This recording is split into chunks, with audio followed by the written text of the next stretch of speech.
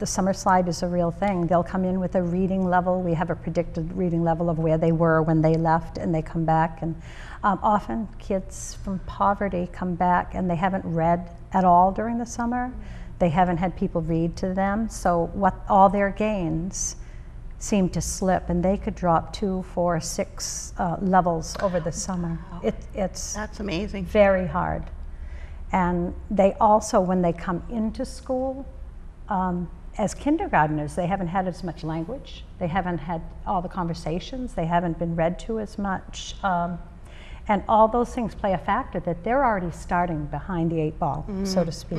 So the summer slide is something we as teachers uh, talk about all the time. And when they come in, we reevaluate them the first week or two of school to see how much they've fallen behind. And then we start with re- remediation Wow. immediately. But it's real. It's- Wow. It's, real.